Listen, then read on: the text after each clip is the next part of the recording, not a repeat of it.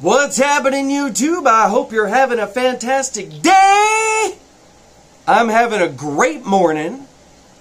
And first, before I explain why, I'm going to thank uh, new subscribers that I got. Um, so, Sanja, Kevin Johnson, Michael Rolden, Jameco Swanson, Hacker Kills. Please don't kill me, bro. And then uh, APSS, all capital letters. If that's an acronym for something, I have no idea what it is. And then finally, Kevin Rosenberg. Thank you so much for your lovely comments. I appreciate it. And anyone I missed, it's because either you haven't left a comment or I didn't get an email. So, and no one gets ignored on my channel. If you say literally anything on any video, I will respond and speak to you because I like talking to everybody. So, why am I excited? I'm excited because today we're doing a 55 gallon tank. We're starting off with substrate. So today I'm going to we're going to go shopping for one thing. I'm going to take all of you with me to all these places. And I'm going to teach you how to do a substrate for a 55 gallon tank uh, for $25 or less. Yes, it can be done. I'm going to take you there, show you the products, the prices. We'll add it all up and we'll see what we get. But not only is it cheaper, we're not penny pinching. The stuff that we are picking are sustainable, they carry much more nutrients than any aquarium soils.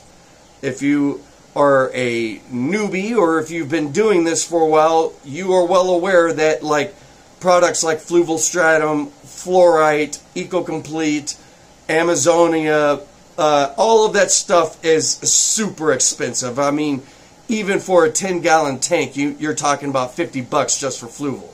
You know, so, I mean, um, what I'm going to teach you is going to last indefinitely and uh, you're going to get much healthier growth out of your plants. So this will be part one of the uh, of the substrate special, particularly for a 55 gallon long. So now, before this gets too long, I'm going to cut this short. Let's go shopping, and uh, yeah, it's going to take me about 45 minutes to get to the next city over to buy the stuff that I'm looking for. But it, Fortunately for you, you only got to wait a few seconds. So we'll see you when we get there. We've got four stops to make, so let's get to it!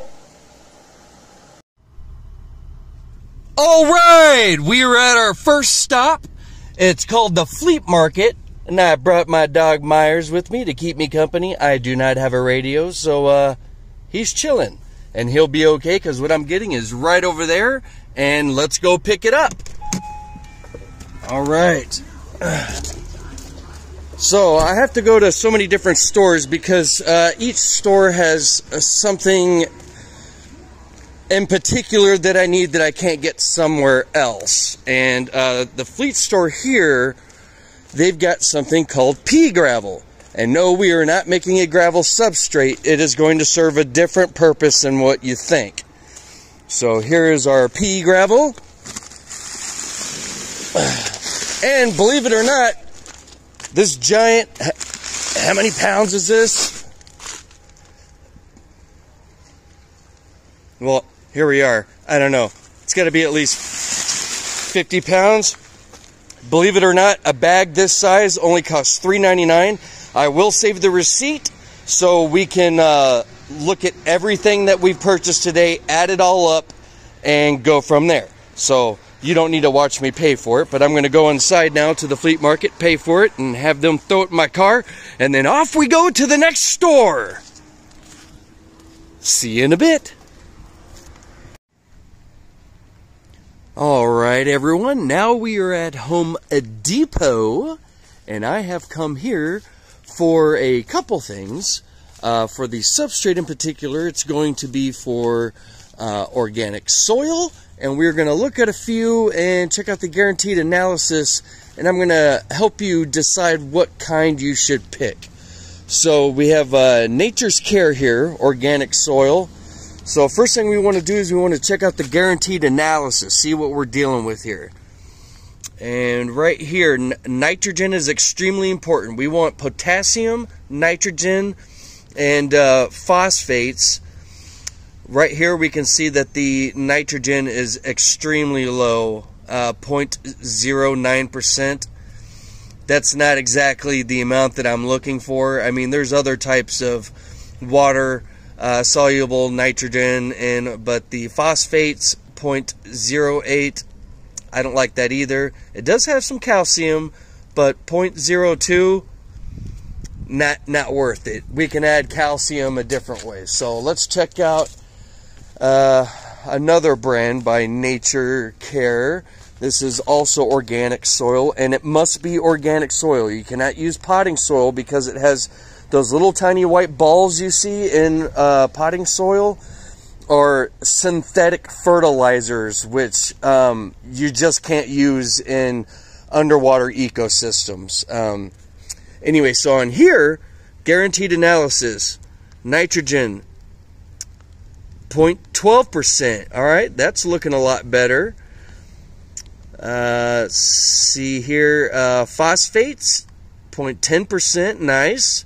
Potash, 0.12%. All right, we're looking good. And let's see, I believe they had a third kind here. All purpose, all purpose. Uh, I'm looking for or organic. Walk back over here. Take a quick look. I don't want this to run too long. I, I kind of already have an idea of what I'm looking for, but remember, it must be organic. Do not pick anything else. Those are not for using in aquariums. I mean, organic soil isn't exactly meant for uh, aquariums either, but it does do the trick. And it looks like, oh, wait, here's this one here. What do we have here?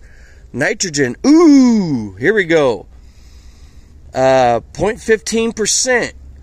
Phosphates, 13%. Potash, 0.15%. And bonus calcium. Let's compare that with this again, because I don't even think this has calcium at all. Yep, no calcium and the nitrogen on here is much higher. Uh, so yeah we're gonna go with this. Total cost of this five dollars and ten cents. We're still looking good. And I had one other thing here. This does not count as part of the substrate but I am going to be making a uh, aquascape that is kind of kind of going to look like a underwater woods.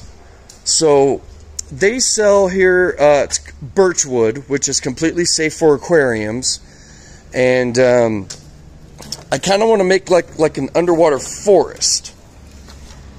Uh, this one looks good, and I can cut this up into several pieces. Um, but anyway, I'm going to dig through here, pick some of that out, and then we're going to move on to the next store because the next place we got to go is Menards. So I'm going to cut this short, and I will see you again when we get to Menards.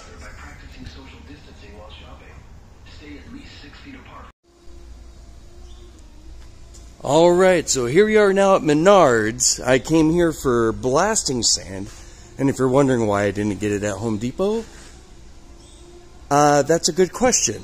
Whereas they sell sandblasters, but they don't sell blasting sand. So I had to go to Menards. So here we are. Here is the sand section. And black, fine black diamond blasting sand is what I'm looking for. Let's see if we can score one that's not busted open. And as you can see the price here, 7.99. And if you've been following the math, we are still under Look at that. Just dumping out sand. Come on, guys. Do better. What about this one? This one leaking? No leaking. All right. Oh, thank you for following me around. I do have a couple more errands to run, but when we get back to the house, we'll pull everything out, look at all the receipts, see the total cost, and uh, go from there. Thank you. That time of the year, Halloween. Just passing by this while I'm still in Menards. Thought it's pretty cool looking. And that'd be wicked to have at my front door. Not for 250 bucks, so thanks. I'll pass. But still pretty cool. Ooh, dragon. Yeah. All right, that's it. See you when I get home. All right, everyone, we are back in my basement under the stairs. I gathered all the products I need for uh, the substrate that I'll be doing for this 55 gallon, uh, along with some other cool stuff. Like I said, I bought some uh, birch wood here. Uh, there's uh, cholla wood. Um, gonna make it like an underwater force. Gonna be pretty wicked when I'm done. So, let's get to the receipts.